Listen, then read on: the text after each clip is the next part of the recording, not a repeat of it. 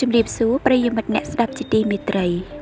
គ្រុឌលោកអ្នកធ្លាប់បានស្គាល់មកហើយអំពីសត្វគ្រុឌហើយក៏ធ្លាប់បានឃើញរួចមកហើយនៅសត្វបក្សីដែលមានឫទ្ធានុភាពខ្លាំងពូកែហើយត្រូវបានគេសាងសង់រូបចម្លាក់មួយចំនួននៅតាមប្រាសាទរបស់ខ្មែរយើងថ្ងៃនេះនាងខ្ញុំនឹងលើកយកនៅប្រធានបទមួយដែលតាក់ទងទៅនឹងប្រវត្តិខ្លះៗរបស់សត្វគ្រុឌ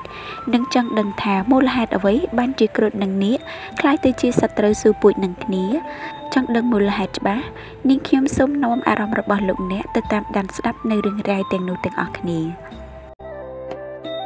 គ្រុឌជាសត្វដំណាលក្នុងទេវកថាឥណ្ឌាសត្វនេះជាសត្វមានមហិទ្ធិឫទ្ធិដោយក្នុងដំណើររឿងកាកៃជាដើមសត្វនេះមានរូបរាងជាមនុស្សក្បាលជាឥន្ទ្រីដៃជើងជាក្រញាំសត្វស្លាបមានស្លាបហើយស៊ីនាគនិងពស់ជាអាហារគ្រុឌคล้ายមកពីពាក្យបាលីនិងសំស្ក្រឹត ជាឈ្មោះសត្វបក្សី មាននៅក្នុងរឿងបុរាណនិងជាយានជំនិះរបស់ព្រះវិស្ណុគូសត្រូវនឹងសត្វនាគបើតាមលោកហ្សង់បូជេនិយាយថានៅក្នុងសិល្បៈខ្មែរបើសិនជាចម្លាក់សត្វទាំងនេះ មានលក្ខណៈនិមិត្តរូបសំខាន់គឺត្រូវបានគេឆ្លាក់រចនាច្រើនដូចជាតោនិងនាគជាដើមចំណែកគ្រុឌមកពីប្រាសាទធំ គឺមានចលនារស់រវើក ម្យ៉ាងវិញទៀតមានការតុបតែងលម្អយ៉ាងលម្អិតនៃស្លាប និងគ្រឿងអលង្ការផ្សេងៗដែលពាក់ដងខ្លួននិងដៃ នៅប្រាសាទធំខាងក្រោយសត្វនាគក្បាល7ចម្លាក់សត្វគ្រុឌត្រដាងស្លាបវែងលេចឡើងជាលើកដំបូងក្នុងសិល្បៈខ្មែរចម្លាក់គ្រុឌបានបង្ហាញក្រោមទិដ្ឋភាពពីរយ៉ាង គឺជាសត្វរំពាតំណាងឲ្យព្រះអាទិត្យពីព្រោះគ្រុឌคล้ายទៅជាយានជំនិះព្រះវិស្ណុតំណាងព្រះអាទិត្យនិងសម្រាប់សត្វនាគដែលត្រូវជាបងប្អូនឪពុកជាមួយគ្នាម្ដាយទីតីគ្រុឌជាបក្សីតំណាងធាតុឈ្មោល ធាតុភ្លើងនាគជាស្ដេចល្មុនតំណាងធាតុញីធាតុទឹកគ្រុឌស្អប់នាគចូលចិត្តជន់នាគចាប់នាគនិងស៊ីនាគជាអាហារដែលជាតិសាសន៍ជាច្រើន បានយកមកធ្វើជាសិល្បៈស្ថាបត្យកម្មសាងរូបទាំងនោះឡើងកម្ពុជាយកនិមិត្តរូបនាគតំណាងនគរមេដាធិបតីនាងនាគរីឯប្រទេសថៃជ្រើសរើសគ្រុឌក្រហម គ្រុឌភ្លើងសម្រាប់សម្គាល់ប្រទេសគេ ដោយសារអនុភាពរបស់គ្រុឌបើទោះបីគ្មានទឹកអម្រឹតក៏គ្រុឌមានជីវិតអមតៈតាមពោព្រះវិស្ណុនិងរឿងអរិយប្រវត្តិសាស្ត្ររវាងខ្មែរនិងសៀមប្រទេសឥណ្ឌូនេស៊ីនិងម៉ុងហ្គូលីក៏បានយកគ្រុឌជានិមិត្តរូបប្រទេសខ្លួនផងដែរប្រវត្តិសត្វគ្រុឌតើគ្រុឌមានប្រវត្តិបែបណា សត្វគ្រុឌមានប្រវត្តិតាំងពីយូរលង់ណាស់មកហើយ ដែលសត្វនេះមានពាក់ព័ន្ធនៅក្នុងទេវកថានៃព្រហ្មញ្ញសាសនាសត្វគ្រុឌនេះដែរក៏ត្រូវបានគេចាត់ទុកដូចជាសត្វអរិយៈផ្សេងផ្សេងទៀតដែលខ្មែរបុរាណបានឲ្យតម្លៃតាំងពីប្រមាណជាង2000ឆ្នាំមកហើយនៅក្នុងទេវកថាឥណ្ឌាមានសត្វជាច្រើនត្រូវបានចាត់ទុកថាជាទេពឬក៏ជាពាក់កណ្ដាលទេពឧទាហរណ៍ដូចជាពស់ឬនាគ អណ្ដើកខ្លាឃ្មុំសត្វសត្វស្វាគោដំរីកង្កោកខ្លាជាដើម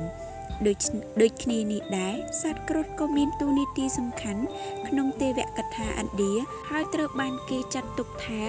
ជាបក្សីរាជា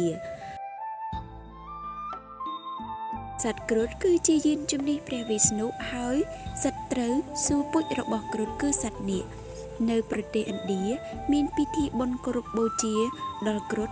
ដែលតែងតែប្រារព្ធធ្វើឡើងនៅថ្ងៃ5កើតខែស្រាប់រៀងរាល់ឆ្នាំ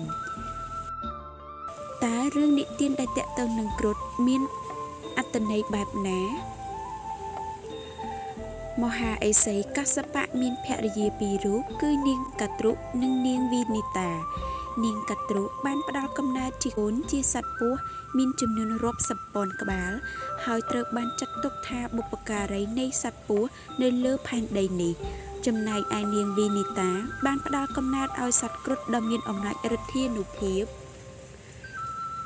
ថ្ងៃមួយនាងកត្រុនិងនាងវីនីតា បានលេងល្បែងភ្នាល់គ្នាដោយទាយពណ៌កន្ទុយសេះក្បាល7អាចហោះបានដែលកាត់ចេញពីការកោតសមុទ្រទឹកដោះ នាងកត្រុបានទាយថាកន្ទុយសេះមានពណ៌ខ្មៅរីឯនាងវីនីតាថាពណ៌សពពួកគេបានភ្នាល់គ្នាថានរណាក៏ដោយឲ្យតែចាញ់គឺត្រូវតែបំរើអ្នកឈ្នះនាងកត្រុបានប្រើល្បិចបោកប្រាស់នាងវីនីតាដោយប្រើឲ្យកូនរបស់ខ្លួនដែលជាសត្វនាគខ្លាញ់ខ្លួនធ្វើជាកន្ទុយសេះដូច្នេះហើយនាងវីនីតាត្រូវប្រើនាងកត្រុនិងកូន នាងកត្រុបានធ្វើបាបនាងវីនីតាយ៉ាងខ្លាំងក្លាប៉ុន្តែក្រោយមកពពួកនាគថានឹងយល់ព្រមដោះលែងគ្រុឌនិងម្ដាយប្រសិនជាគ្រុឌអាចទៅយកទឹកអមរិតរបស់ព្រះឥន្ទបានគ្រុឌបានប្រឹងប្រែងយ៉ាងខ្លាំងហើយនៅទីបំផុតទទួលបានទឹកអមរិតហើយបានរំដោះខ្លួននិងម្ដាយពីទីសភាពរបស់នាគនិងនាគកត្រុក្រោយមក គ្រុឌនិងម្ដាយបានដឹងពីល្បិចនេះហើយបានដាក់បណ្ដាសាដល់នាងកត្រុថារាល់កូនរបស់នាងកត្រុទាំងអស់គឺត្រូវតែคล้ายទៅជាចំណីរបស់កូនខ្លួននិយាយកាលដែលគ្រុឌដែលលួចទៅយកទឹកអមរិតពីព្រះឥន្ទ គ្រុឌបានសម្ដែងឫទ្ធិចេស្តាយ៉ាងអស្ចារ្យនិងមានភាពស្មោះត្រង់រហូតបានដឹងដល់ព្រះវិស្ណុហើយព្រះវិស្ណុបានផ្ដល់ពរជ័យព្រមទាំងយកគ្រុឌធ្វើជាយានជំនិះរបស់ព្រះអង្គ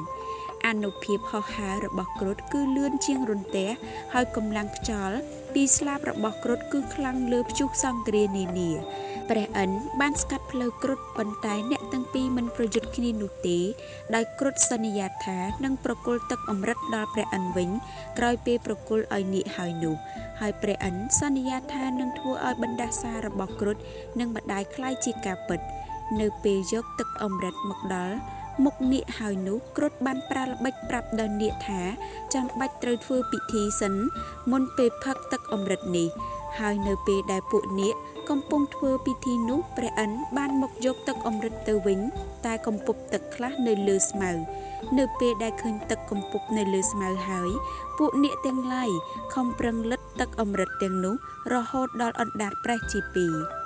ដោយសារតែស្មៅរហូតមកដល់សប្តាហ៍ថ្ងៃនេះព្រះវិស្ណុបានផ្ដល់វេហាទាំងមូលជាទីលំនៅរបស់គ្រុឌហើយរៀបការគ្រុឌជាមួយនឹងនាងអូណាតី គ្រុឌនិងនាងអូណាតី មានកូនពីរនាក់គឺចម្ប៉ាតិនិងចតាយុដែលកូនទាំងពីរនេះមានតួនាទីផងដែរនៅក្នុងរឿងរាមាយណៈក្រៅពីយានជំនិះរបស់ព្រះវិស្ណុគ្រុឌគឺជាបរិវារដ៏ស្មោះត្រង់ដែលត្រូវបានគេឲ្យឈ្មោះថាបរិវារជាន់ខ្ពស់រីឯហនុមានគឺជាបរិវារជាន់ទាប តើគ្រុឌមានអត្តន័យបែបណានៅក្នុងសង្គមខ្មែរវត្តមានរបស់សត្វគ្រុឌនាសម័យហ្វូណនត្រូវបានគប់បញ្ជាក់តាមរយៈបដិមាកម្មលោកបណ្ឌិតមីសែលត្រាណេបានបញ្ជាក់ថាការរកឃើញសត្វគ្រុឌដែលគេឆ្លាក់ជាក្បាច់នៅលើក្រឡឬកលាភាជបានបញ្ជាក់ឲ្យដឹងថាប្រភពបុរេអង្គសត្វគ្រុឌ មានកំណើតមកមានអាយុប្រមាណ2000ឆ្នាំមកហើយ ចំណែកសត្វគ្រុឌនៅប្រទេសថៃនិងឡាវគឺជាគ្រុឌបានប្រសូតចេញពីខឿនវប្បធម៌ខ្មែរនាសម័យអង្គរតែប៉ុណ្ណោះក្នុងជំនឿខ្មែរបុរាណដែលបានទទួលនៅមរតកវប្បធម៌ឥណ្ឌាសត្វគ្រុឌគឺជាស្ដេចបក្សីប្រកបដោយមហិទ្ធិឫទ្ធិខ្លាំងក្លាអស្ចារ្យព្រោះថាសត្វនេះតំណាងនៅអវកាសឬភាពលំហ ឬធាតុភ្លើង ផ្ទុយពីគូបដិបត្តិរបស់ខ្លួន គឺសត្វនាគដែលតំណាងឲ្យធាតុដីឬទឹក ប្រភពនៃភាពផូរផង់ភាពត្រជាក់ត្រជុំជាដើមការគោរពបូជាសត្វគ្រុឌកើតមានតាំងតែពីសម័យនគរភ្នំមកម្លេះដោយវត្តមានរូបចម្លាក់នៃស្ដេចបក្សីនេះនៅលើសន្លឹកមាសមួយចំនួន ដែលគេបានជួបប្រទះនៅគោកប្រាសាទនៅក្នុងខេត្តដុងថាបទឹកដីកម្ពុជាក្រោមជាផុសតាំងស្រាប់ ការលេចធ្លោជាក្បាច់លើសញ្ញាមាសបែបនេះបង្ហាញថា ចាប់តាំងពីសតវត្សទី2ដល់ទី5គ្រុឌបានដើរតួនាទីយ៉ាងសំខាន់ក្នុងវិស័យជំនឿសាសនាមនុស្សខ្មែរចាប់តាំងពីពេលនោះមកបានបន្តស្ថានភាពនេះរហូតមកដល់សប្តាហ៍ថ្ងៃដោយបានយកសត្វគ្រុឌនេះដើម្បីធ្វើជាគ្រឿងលម្អតុបតែងសំណង់ស្ថាបត្យកម្មប្រាង្គប្រាសាទក៏ដូចជាវត្តអារាមផងដែរ។ ថ្មីថ្មីនេះយោងលើរបបកំហើយខាងបុរាណវិទ្យារបស់លោកស្រីលេធីលៀងនៅម្ដុំដែនដីសណ្ដោផ្នែកខាងក្រោមខាងទន្លេមេគង្គនិងស្រាវជ្រាវរបស់យើងនៅអង្គរបុរីយើងបានដឹងថាសត្វគ្រុឌបានដើរតួនាទីយ៉ាងសំខាន់ក្នុងវិស័យជំនឿសាសនានាសម័យហ្វូណនឬនគរភ្នំក្រៅពីការតំណាងសត្វគ្រុឌ ជាក្បាច់ក្រឡោតអណ្ដែតខ្មែរបុរាណក៏បានឆ្លាក់សត្វនេះនៅលើសញ្ញលឹកមាសស្ដាងស្ដាង ដែលគេប្រើជាយន្តសម្រាប់ការពារសំណង់ស្ថាបត្យកម្មឬក៏មនុស្សបែរនិយាយម្យ៉ាងទៀតការដែលគេជឿថាសត្វគ្រុឌគឺជាសត្វដែលមានភាពរិទ្ធានុភាពខ្លាំងក្លានោះបានក្លាយទៅជាទំនៀមទម្លាប់មួយ ដែលប្រជាជនខ្មែរបានប្រកាន់យកយ៉ាងខ្ជាប់ខ្ជួនរហូតមកដល់សព្វថ្ងៃ។ ឧទាហរណ៍ជាក់ស្ដែង នៅលើកាក់សំណមួយ នៅទីនេះគេឃើញសត្វគ្រុឌស្ថិតនៅអេរិយាបថមួយ គួរឲ្យចាប់អារម្មណ៍ព្រោះវាហាក់បីដូចជាកំពុងសម្ដែងឫទ្ធាមកខាងតំណាងសត្វគ្រុឌមកខាងទៀតសត្វពស់ក្រៅអំពីជំនឿបែបព្រហ្មញ្ញសាសនា ព្រហ្មញ្ញនិយមទៅលើសត្វគ្រុឌនៅតែបំពេញតួនាទីតុបតែងលម្អសំណង់ស្ថាបត្យកម្មខ្មែររហូតដល់សតវត្សទី21នេះឆ្លងកាត់ការសិក្សាវិភាគលើវិស័យបដិមាកម្មនៅអង្គរបុរីយើងក៏បានជួបប្រទះចម្លាក់សត្វគ្រុឌមួយចំនួន ដែលឆ្លាក់លើកុលាភាជព្រមទាំងជាចម្លាក់លោតផងដែរយ៉ាងណាក៏ដោយចម្លាក់ទាំងនោះមានអាយុ តិចជាងបុរាណវត្ថុដែលគេបានជួបនៅក្នុងដែនដីសណ្ដោឬនៅជ្រលងនៃដុំទន្លេចៅប្រយ៉ាជាពិសេសនៅទីក្រុងសូផាន់បុរីដែរដែលជាទីក្រុងចាស់របស់បុព្វបុរសខ្មែរនាសម័យហ្វូណននៃនគរភ្នំ ឬនគរភ្នំ សូមរំលឹកផងដែរថាពាក្យគ្រុឌក៏ដូចជានាគដែរគឺជាពាក្យសំស្ក្រឹតដែលសប្តាហ៍ថ្ងៃបានคล้ายទៅជាពាក្យខ្មែរទៅហើយគ្រុឌនាសម័យវប្បធម៌បុរេអង្គរនៃចក្រភពភ្នំបានឲ្យកំណើតទៅគ្រុឌថៃនាសម័យវប្បធម៌សុខោតីអយុធ្យានិងរតនគូសិន។